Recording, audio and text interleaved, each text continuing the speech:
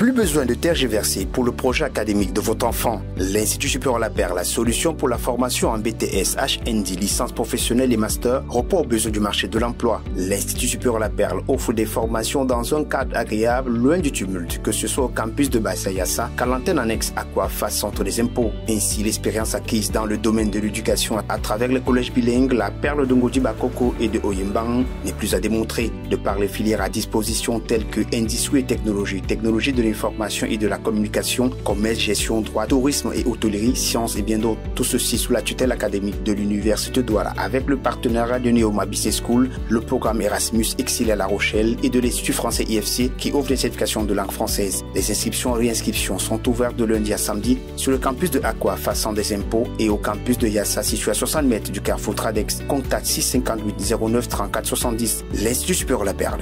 Une formation, un métier.